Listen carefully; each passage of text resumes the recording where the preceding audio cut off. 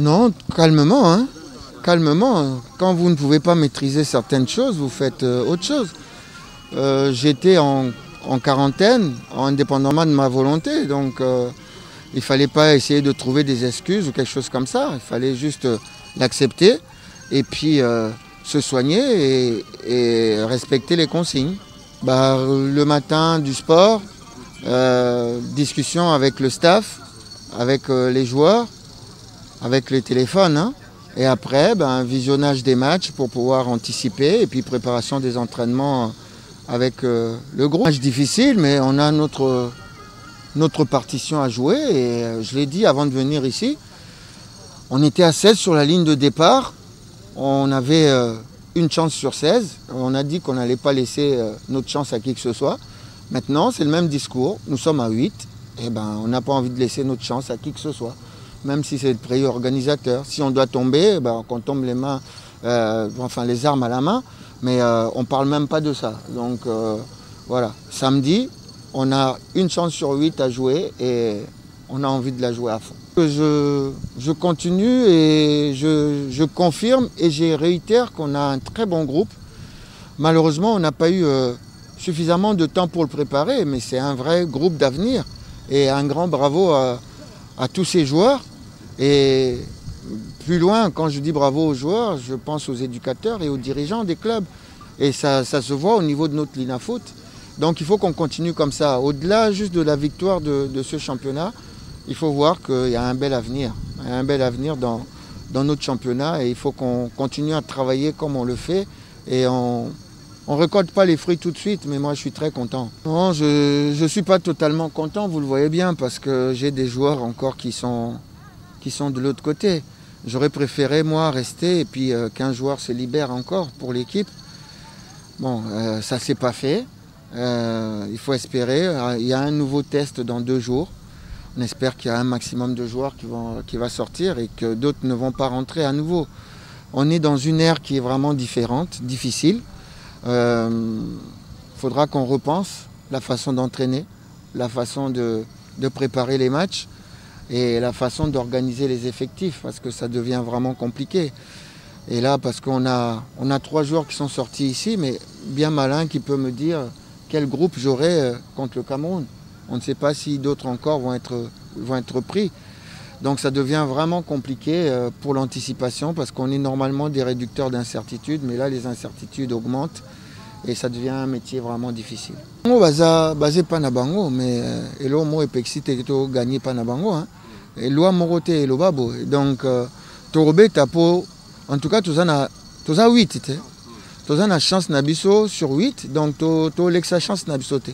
Torobeta ngo à fond pour que to koma totikala kaka 4 bon boyebi nga quand même depuis depuis que nakoma congo nalingaka koloba te ke moto azangi.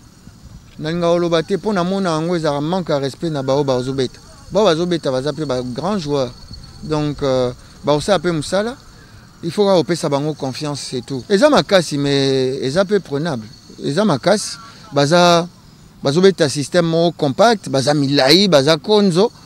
Biso mpe toza na ndenge na biso akokoka kocontourne bango so tondima yango te nde samedi nde toye na biso te donc ntango tokokota samedi na terrain toza na eliki ake tobeta bien et puis tokoganye match. Bon merci pour la question. Nous sommes euh, euh, vraiment en pleine période de covid. Donc le, le, le championnat est organisé dans ce contexte là et on nous demande de faire exactement euh, le bilan donc pour le moment euh, ce que nous avons comme euh, effectif du côté des joueurs, c'est 12 moins 3. Donc il reste encore 9 joueurs qui, sont en observation.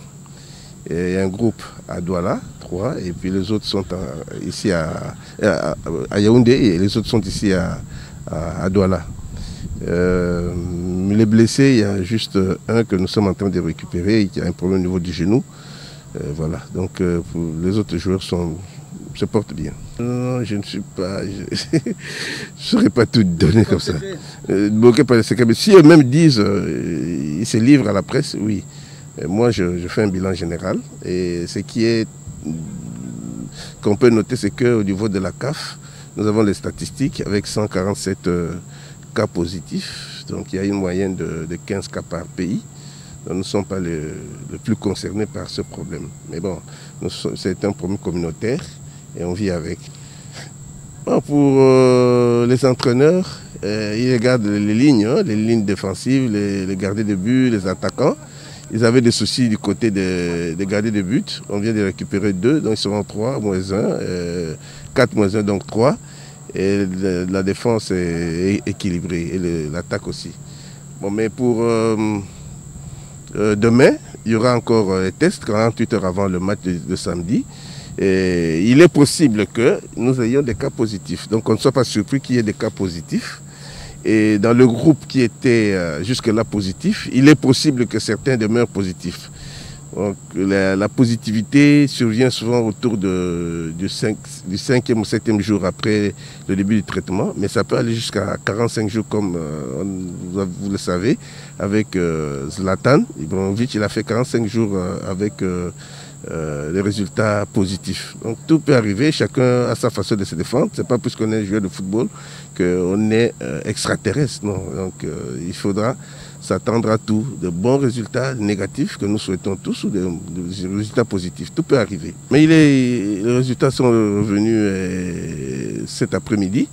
C'était douteux au départ et puis on a confirmé que c'était bon. il est maintenant négatif et il a rejoint le groupe. C'était le premier à, revenir dans le groupe parce qu'il y a ma tante, les deux gardiens de but là, euh, euh, ont eu des résultats négatifs. Ils ont jubilé, bien sûr, mais nous leur avons demandé de ne pas faire du triomphalisme comme si euh, les autres étaient des, condamnés. Non, ils sont tous asymptomatiques, ce qui est intéressant. Ce sont des êtres humains. Et ce qui m'intéresse, moi, en tant que médecin, c'est leur état de santé. Bien sûr, nous avons un protocole Puisqu'avant, vous voyez, en termes de culture, il y avait certains ratés. Le premier, c'est.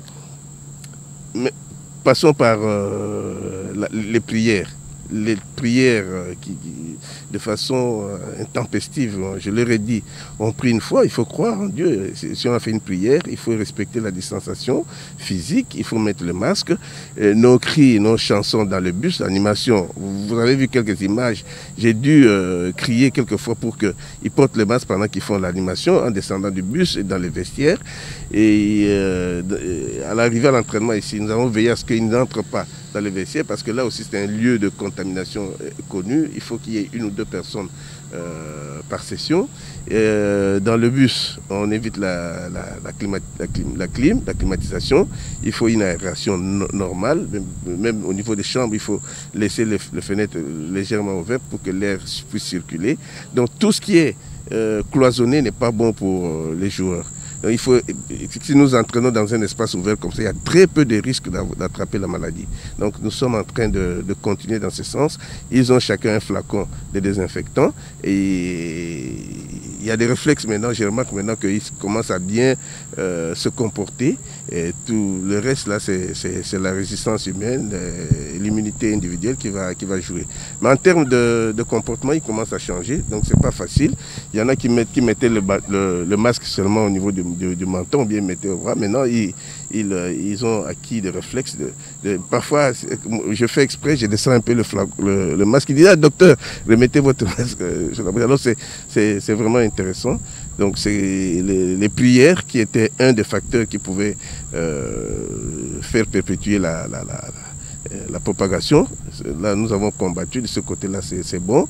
Le bus, le lavage de mains, la distanciation physique, tout cela maintenant est, maîtrisé. Le reste, c'est de la spéculation. Ce sont d'abord ces gestes-là qui sauvent. C'est d'abord ces gens-là qui sauvent. Bien sûr, chaque jour, je leur donne les médicaments pour la résistance. Ils ont la vitamine C, avec le zinc, avec le sélénium, ils ont la vitamine D. Euh, voilà. Ça, c'est pour permettre à l'organisme de mieux se défendre. Ça, ça vient en deuxième fonction. La première chose, c'est le comportement individuel, la culture de la distanciation sociale, le port de masque correctement, et ainsi de suite.